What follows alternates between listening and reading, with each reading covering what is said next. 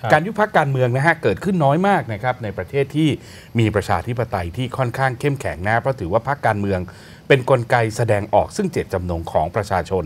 ความผิดทางการเมืองของพรรคการเมืองจึงต้องให้ประชาชน พิพากษาผ่านการออกเสียงเลือกตั้งครับเท่าที่เคยมีการศึกษาไว้เนี่ยนะฮะการยุบพักการเมืองมักเกิดขึ้นในประเทศที่ประชาธิปไตยยังไม่ลงหลักปักฐาน กลุ่มการเมืองบางกลุ่ม หวังใช้ช่องทางพักการเมืองเข้าถือครองอำนาจรัฐ กลุ่มเหล่านี้มีจุดยืนเป็นปฏิปักษ์ต่อประชาธิปไตย บางกลุ่มสนับสนุนอำนาจเผด็จการ บางกลุ่มสนับสนุนการแบ่งแยกดินแดน บางกลุ่มสนับสนุนการก่อการนะร้ายฮะและส่วนในประเทศที่มีประชาธิปไตยมั่นคงแล้วนะครับ การยุบพักเคยเกิดขึ้นกับบางกลุ่ม ที่มีแนวคิดสุดโต่ง เช่นขวาตกขอบ และบางกลุ่มที่เชิดชูนโยบายเหยียดเชื้อชาตินะฮะครับ พรรคการเมืองที่ถูกศาลยุบเอ่อ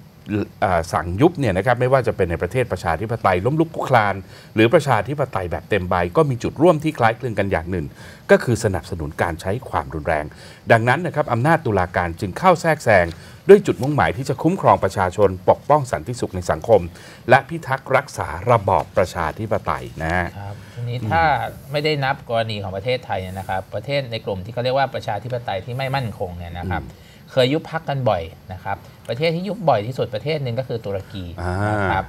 แต่แต่ในกรณียุบพักในต่างประเทศที่คนไทยรับรู้มากที่สุดเนี่ยอาจจะเป็นใกล้ๆตัวเราก็คือกัมพูชากัมนี่เองพูชานะนี่ฮะไม่นับประเทศไทยนะอ่าเราเราจะเรียกว่าประเทศไทยเริ่มกลายเป็นกัมพูชาโมเดลไปได้หรือยังอืม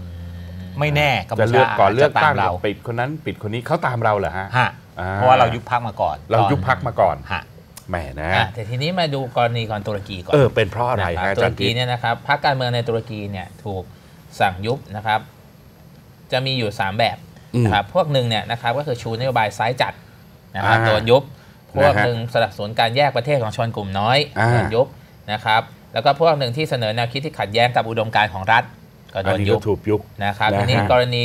ที่ชูนโยบายซ้ายจัดเนี่ยมี 2พรรคที่ถูกยุบ นะครับก็คือ United Communist Party of Turkey ก็หมายความว่าพรรคคอมมิวนิสต์นั่นแหละครับผมนะครับแล้วก็อีกพรรคหนึ่งก็คล้าย ๆ กัน Socialist Unity Party นะฮะนะคก็รับคือซ้ายทั้งคู่ แต่ก็แปลกอะว่าถ้าครับคุณเป็นประชาธิปไตยแล้วทำไมคุณรับแนวความคิดแบบเป็นซ้ายไม่อะได้อันนี้มาดูรายละเอียดมาดูมาดูรายละเอียดนะครับอืมพรรคคอมมิวนิสต์ตุรกีเนี่ยนะครับต่อก่อตั้งขึ้นนะครับในปี 1990อืมนะครับแต่สารรัฐธรรมนูญเนี่ยสั่งยุบพรรคนี้ในปี 1991 คือปีเดียวนะครับแล้วก็ตัดสิทธิ์แกนนำพรรคสองคนที่มีตำแหน่งในพรรค นะครับ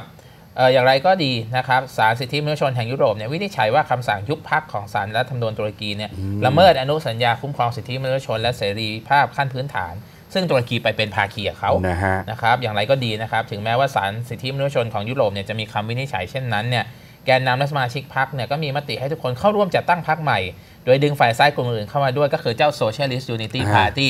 นะครับอ่าซึ่ง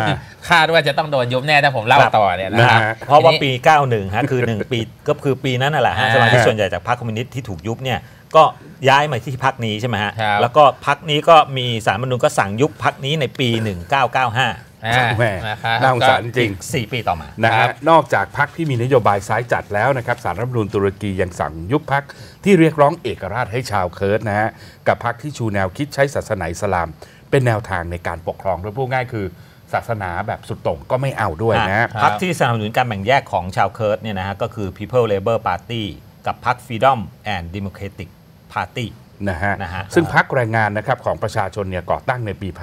1990 ผู้สมัครของพักได้รับเลือกตั้งเข้าไปในสภาในปี 1991 สารรัฐธรรมนูญสั่งยุบพักนี้ในปี 1993 หลังจากเรียกร้องสิทธิต่าง ๆ ให้ชาวเคิร์ดนะฮะครับหลังจากถูกยุบพักสมาชิกของพัก เนี่ยแรงงานเนี่ยนะฮะก็รวมตัวกันนะครับจัดตั้งพักขึ้นมาใหม่ในปี 1993 โดยใช้ชื่อว่าพักประชาธิปไตยและเสรีภาพ แต่ดำเนินการไปได้แค่ 4 เดือนฮะอาจารย์พิษครับสารรัฐธรรมนูญก็สั่งยุบอีกโดยให้เหตุผลว่าสนับสนุนการปกครองตนเองของชาวเคิร์ดหมยความว่าเปลี่ยนชื่อพรรคก็ก็โดไม่นมีไล่ประโยชน์ตามไปอีกนะฮะนะครับเอ๊ะมันคือชักจะยังไงและ ยุบแล้วตั้งใหม่ ก็ก็โดนโดยุบนได้อีกอีกนะครับทีนะนี้ฮะอย่างไรก็ดีนะครับในปี 2002 นะครับศาลสิทธิมนุษยชนแห่งยุโรปนะครับก็สั่งให้จ่ายเงินเยียวยาแก่แกนนำสามคนของพรรคคนละ 10,000 ยูโร และแกนนำคนอื่นๆ เป็นเงินรวมทั้งหมด 10,000 ยูโรเหมือนกันนะครับนะฮะทีนี้นอกจากจะสั่งยุบพรรคด้วยเหตุเกี่ยวกับเชื้อชาติแล้วเนี่ยนะครับศาลตุรกีก็ยังมีผลงานโดดเด่นนี่นะครับ ก็คืออสั่งยุบพรรคการเมืองด้วยเหตุผลเกี่ยวกับศาสนาอ่านนะครับพรรคที่ถูกยุบในกรณีนี้คือพรรคที่ชูอุดมการณ์แบบอิสลามนิยม ที่เรียกว่า the welfare party นี่เขาครับชื่อเขาไม่ค่อยสะท้อนอุดมการณ์เท่าไหร่นะฮะพรรคนี้ก็แปลง่ายๆว่าพรรคนะสวัสดิการเนี่ยนะครับฮะก่อตั้งเมื่อปี 1983ได้รับคะแนนนิยมสูงขึ้นเรื่อยๆนะครับจนกระทั่งกลายเป็นพรรคที่ใหญ่ที่สุดภายใต้นายกรัฐมนตรีนะครับนีเมตินเออร์บากันนะครับในปี 1996 ทีนี้ต่อมาในปี 1997 เนี่ยรัฐบาลผสมของเออร์บากันเนี่ยถูกกองทัพโค่นอำนาจ ด้วยเหตุอ่าสงสัยว่ารัฐบาลชุดนี้จะนำตุรกีไปสู่การเป็นรัฐอิสลามนะฮะนะครับในปี 1998 สารรัฐธรรมนูญจึงสั่งยุบพรรคสวัสดิการด้วยเหตุผลว่า อุดมการณ์อิสลามนิยมของพรรคนี้ขัดแย้งกับอุดมการณ์ของรัฐ ซึ่งเชื่อชูการปกครองแบบอ่าโลกวิสัยอันนี้หรือจริง secularism ครับซึ่งปฏิเสธการนำศาสนามาปะปนกับกิจการทางโลกนะอันนี้โจริงอันนี้จริงเดี๋ยวสิไออันนี้จริงเนี่ยประเด็นก็คือว่ามันเป็นพรรคการเมืองบางพรรคที่ใช้ฮะ ใช้พระพุทธเจ้าอะไรอย่างนี้แหละฮะเอ่อไปถึงขั้นได้นั้นเหรอฮะเอาแต่ว่าในบ้านเราได้ใช่หอาจจะไม่ขัดกับอุดมการณ์ของรัฐนะอ่าไม่ได้ขัดบ้านบ้านเราเขาแต่เขาก็เออเขาก็ยกเรื่องศาสนามาเต็มๆใช่ไหมนะแต่ก็ไม่ได้บอกว่าเป็นรัฐศาสนาใช่ไหมนะฮะอ่าไม่ไม่ได้ถึงขนาดไม่ถึงเอาพระธรรมมาเป็นอ่ากฎหมายโอ้แต่น้อมนำคำสอนเลยแหละนะฮะแต่ไม่เป็นไรสุดท้ายพรรคนั้นก็หายไปแล้วก็ไม่ใช่เหรอครับได้คะแนนแค่หนึ่งคะแนนฮะรวมด้ไปหนึ่งอยู่เสีงมามาเขาย้ายไปอยู่รวมกับอันอื่นไปแล้วอ่ายุสบรุปไม่ก็ทันคือแล้ของวของตุรกีเนี่ยมีสามครับเหตุผลอ่าก็คือเรื่อง เอ่อแบ่งแยกดินแดนอ่าครับอ่าสุดเรื่องขขอองงด้านเชื้อซ้ายชาติอ่าแล้วก็ซ้ายจัดใช่ไหมอ่าอ่าแล้วก็ยังมีเรื่อุดมศสนการณ์ที่ต่างกันอีกอ่าอ่านะครับนะฮะอะ กรณีของกัมพูชาฮะเดือนครับพฤศจิกายนปี 2017 นะฮะสารดีกามีคำสั่งยุบพักกู้ชาติกัมพูชา หรือ CNRP หลังจากใช้เวลาไต่สวนเพียงแค่ 5 ชั่วโมง ใช้เวลาพิจารณาคดี 2 ชั่วโมง พร้อมกันนั้นยังตัดสิทธิทางการเมืองของกรรมการบริหารพัก118 คนด้วยนะฮะครับโดยในวันที่นัดฟังคำวินิจฉัยพัก CNRP ไม่ส่งตัวแทนเข้าฟังนะฝ่ายรัฐบาลซึ่งเป็นผู้ยื่นคำร้อง ในนามของกระทรวงมหาดไทยบอกว่าการไม่มาศาลเท่ากับสารภาพผิดนะฮะจนถึงขณะนี้ในายเข็มโสกานะครับหัวหน้าของพักเนี่ยซึ่งถูกจับกลุ่มนะฮะตอนกลางดึกเมื่อเดือนกันยายนปี 2017 ถูกกล่าวหาว่าสมคบคิดกับสหรัฐอเมริกาที่จะก่อการลุกคือ ยังคงถูกไต่สวนด้วยข้อหากบฏนะฮะ CNRP ไม่ใช่พักเล็กนะฮะ มีสสในสภาผู้แทนราษฎรถึง 55 ที่นั่ง สมาชิกพักยังได้รับเลือกตั้งเป็นหัวหน้าชุมชนต่างๆ อีก